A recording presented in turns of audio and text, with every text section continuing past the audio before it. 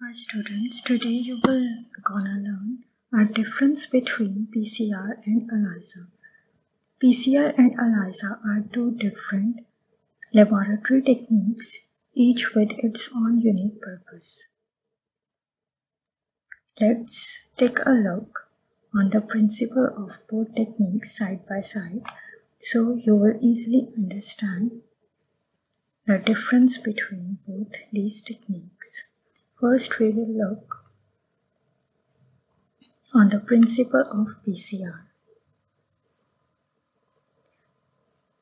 With PCR, you catch the pathogen that may be virus or bacteria while it is present in the sample.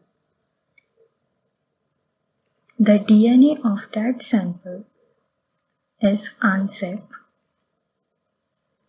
Then primer is attached and after that amplification of that specific pathogen is occurs.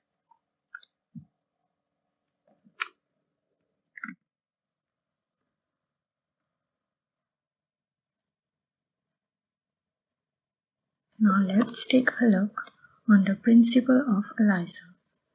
ELISA detects antibodies that are produced to attack the virus or bacteria not detect the pathogen itself. One of the main advantage of using PCR as a detection method is that it can detect the pathogen causing the disease in the early stage. ELISA on the other hand relies on antibody detection. So when a person is infected, it takes a while before a body to produce the amount of antibodies on ELISA to detect.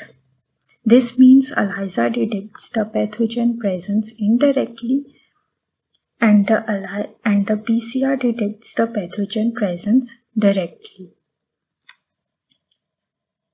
So that's as a brief difference between PCR and ELISA. Hope it will be helpful for you. Thanks for watching.